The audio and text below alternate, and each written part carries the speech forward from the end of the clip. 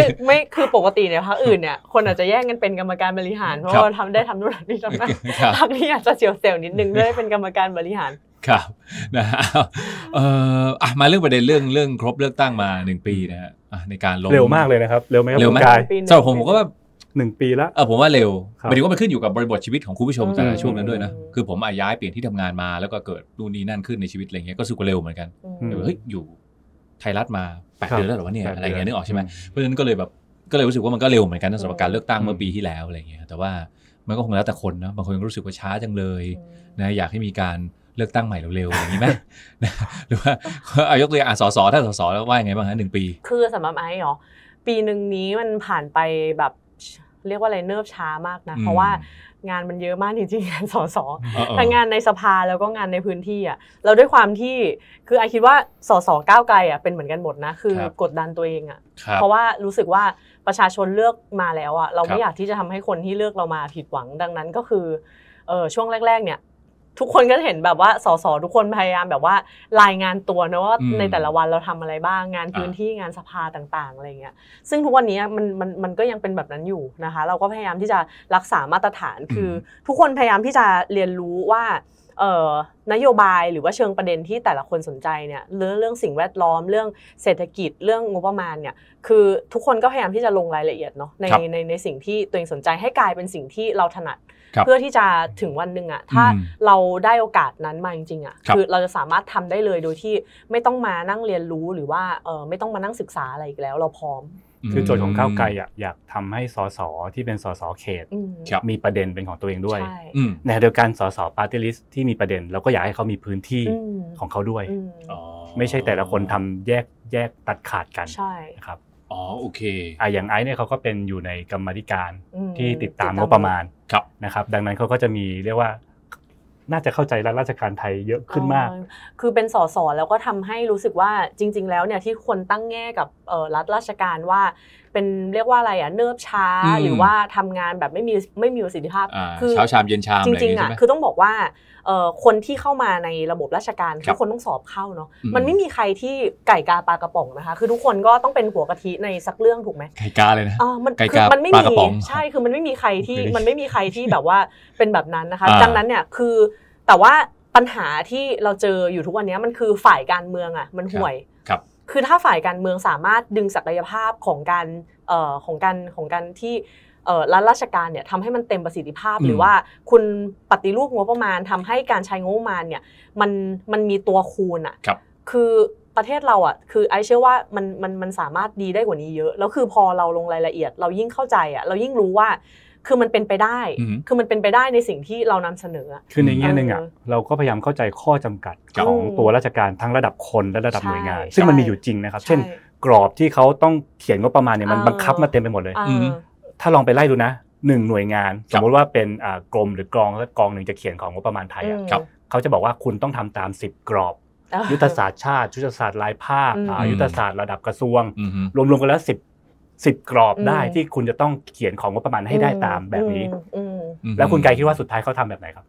อืมมีคือมีกรอบเขาก็หรืต้องทำตามเขาก็ต้องรทำแบบไงปีที่แล้วถูกถูกอ่าทำเพราะว่าตมการขอกฎหมยปีที่แล้วมันผ่านมาแล้วเออครับคุณก็ทำแบบเดิมเออครับอ่าก็คุณไปตั้งกรอบให้ดู เพราะว่าคนที่เขียนว่าต้องทำตามแผนนู่นนี่นั่นน่ะก็คืออืมเรียกว่าไม่ได้รู้จักราชการไม่ได้ลงพื้นที่อ่าแต่ว่านั่งในห้องแล้วก็ประนีประนอมกันครับผมอยากให้เข้าทุกฝ่ายในห้องนั้นน่ะเห็นตรงกันครับก็เลยยัดใส่ว่าอืมหน่วยงานเขาต้อง เขียนตามกรอบนี้สิบสิบกว่ากรอบบางอ่าบางหน่วยนี่เยอะกว่าสิบอีกนะคือครับอย่างนี้ครับไอ้มันไม่คิดใช่ว่ากรอบเหมือนกะลามาครอบเออให้มากใช่กว่านะให้เราเป็นคือคืออย่างนี้ไอไอคิดว่าถ้าเราสามารถเอ่อเรียกว่าอะไรกิโยตินกฎหมายกำจัดกฎระเบียบอะไรที่ทำให้ราชการอะเขาอืมทำงานได้เต็มประสิทธิภาพครับแล้วก็มีระบบที่ดึงศักยภาพของของของราชการออกมาได้จริงๆอะคือ มันจะมันจะทำให้ประเทศเราอะ คือมีเรียกว่าอะไรอะราชราชการที่เป็นเครื่องมือเป็ครันบเป็นเรียกอะไรกลไกสำคัญในการพาประเทศเราไปข้างหน้าเหมือนกันอืมคือการเป็นสสอะมันก็ทำให้เราได้เห็นมุมนี้เนาะว่าจริงๆอะมันมีราชการที่เขาพร้อมที่จะเรียกว่าอะไรอะทำตามนโยบาย หรือว่าพร้อมที่จะแบบ ทำงานที่มันเต็มประสิทธิภาพอะอ่าแต่ว่าด้วยกรอบด้วยระเบียบด้วยกฎต่างๆ คือมันทำให้เขาต้องต้องอยู่ในกรอบ เพราะว่าครับถ้าเขาไม่ได้ทำตามกรอบ ไม่ได้ครัทำบตามระเบียบ มันก็ผิดกฎหมายคือเขาก็มีโอกาสติดคุกอืมแล้วแล้ว ถ้าคือถ้าฝ่ายการเมืองอะตามเรื่องพวกนี้ทันคุณลงรายละเอียดในกฎในกฎระเบียบในอือฮึพรบในพรกในกฎกระทรวงต่างๆอะแล้วคุครัณบเคลียร์สิ่งเหล่านี้ให้ราชการทำงานได้ได้ได้อย่างเต็มประสิทธิภาพของเขาอะอืมคือมันมันมันไปได้ไกลมากคือประเทศไทลยนอะครับงบประมาณปีละ 3.5 ล้านล้านนะครับอืมครับไม่ได้น้อยนะครับเออแล้วประเทศเรามีคนสัก 66 ล้านคนอืมครับถ้าหารเฉลี่ยง่ายๆนะครับ แบบไม่ต้องคิดอะไรมากเลยนะ ตกคนละ 53,000 บาทต่อปีครับอืมคำถามง่าย ๆ เลยก็คือ คุณกายหรือท่านผู้ชมรู้สึกไหมว่าเราได้รับบริการอืมระดับ 53,000 บาทต่อต่อปีปีใช่อะถามง่ายๆเลยอืมแล้วมันก็จะเป็นคำตอบว่าสุดท้ายราชการมันทำงานได้ได้ดีหรือยังมอืมครับคือปกติเนี่ยอะทุกคนก็จะเป็นเรียกว่าอะไรนะ มีอิชชูกับระบบราชการถ้าใครอะเห็นว่าทำงานได้ดีแล้วกด9อะอะอาจารย์ต้นเปิดมาแล้วนะถ้าเกิดว่าครับใครเห็นว่าคุณได้รับ บริการจากราชการไทยในมูลค่าเกิน 53,000 บาทต่อปี อ่า กด 9 ครับ ครับเออแล้วนะถ้าฮะแล้วถ้าไม่ดีล่ะรู้สึกว่าไม่ดี กด 4 แล้วกันครับ โอเคมีที่มาที่ไปของเลขเก้ากับสี่ไหมฮะ น่าจะดูคุณสเตฟานเยอะอ๋อโอเค ครับนะคุณผู้ชมอะก็ต่อเข้ามาได้นะ เดี๋ยวอ่านให้ในช่องไลฟ์แชทนะครับอะแล้วไงต่อนะเมื่อกี้ คือคืออย่างนี้ไอ้ก็เลยคิดว่าเออมันมันคือถ้าเราอยากที่จะ ไม่อยากตั้งไม่อยากให้ประชาชนเนี่ยตั้งแง่กับรัฐราชการครับครับก็คือว่าโอเคแน่นอนว่ามันมันมันใหญ่มันเทอะท้า แต่ว่าอืมถ้าฝ่ายการเมืองดีอะอืมเราสามารถที่จะทำให้เขาเป็นเครื่องจักรในการในการนำส่งนโยบายได้อืมด้วยเหมือนกันอืมอืมเพราะฉะนั้นเราก็มีความตั้งใจที่จะเข้าไปอะดูแลเรื่องของไอ้เรื่องของอืมระบบราชการอะไรต่างอืมๆแล้วก็ทำให้ข้าราชการนั้นสามารถทำงานได้อย่างคือเต็มที่คืองานมีประสิทธิภาพมากขึ้นใช่มันเป็นเสมือนการเรียกว่า รวบรวมองค์ความรู้อืมแล้วก็มาคุยกับสังคมด้วยอืครับผมเพราะว่าอย่างที่บอกอย่างกลไกกรรมาธิการอย่างเงี้ยครับที่ผ่านมาคนไม่เคยรู้อืมเราทำอะไรได้บ้างเนี่ยอืมก็เหมือนเป็นการสะสมองค์ความรู้มา แล้วก็มาบอกเล่า แล้วเดี๋ยวก็จะไปทำต่อนะอืมแล้วองค์ความรู้มันก็สะสมไปเรื่อยครับๆครับอาจารย์เปิดตัวเป็นเป็นอ่าเป็นทีมงานด้านทีเศรมษฐกิจเศรษฐกิจอ่าทีมเศรษฐกิจครับของครับทางพรรคก้าวไกลครับในช่วงก่อนเลือกตั้งเนาะครับนะครับ แต่ว่าหลายคนเพิ่งทราบว่าทางตัวของอาจารย์เองเนี่ย ไม่ได้ลงสสไม่ได้เป็นสสครับซึ่งนี่เป็นความประสงค์ของอ่า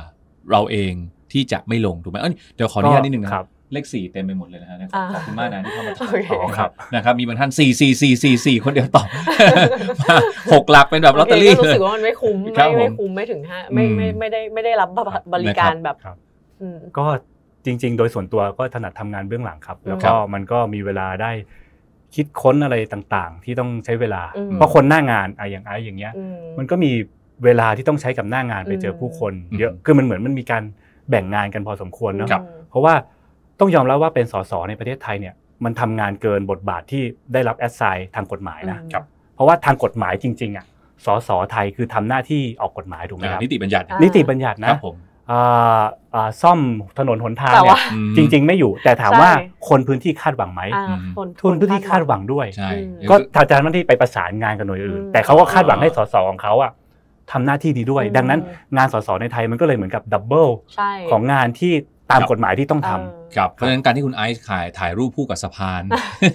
สมัยที่เป็นสสคือใหม่ๆนี่คือว่าเป็นเป็นเป็นการร้องเรียนจากประชาชนในพื้นที่ด้วยถูใช่กไหมใช่ใช่คือคือต้องบอกอย่างนี้พี่อ่าคือประชาชนหลาย ๆ คนเนี่ยยังครับไม่เข้าใจระหว่างงานในสภาอือฮึกับงานของท้องถิ่นเนาะครับคือจริง ๆ ต้องบอกว่าบอดี้ในประเทศไทยเนี่ยเอา สสเนี่ยทำหน้าที่ฝ่ายนิติบัญญัติก็คือออกกฎหมายปรับปรุงกฎระเบียบต่างอืมๆส่วนคนที่จะมาดูแลคุณภาพชีวิตบริการพื้นฐานสาธารณะเนี่ยครับคือเขตคืออำเภออมคืออบตอบจอืมแต่ว่า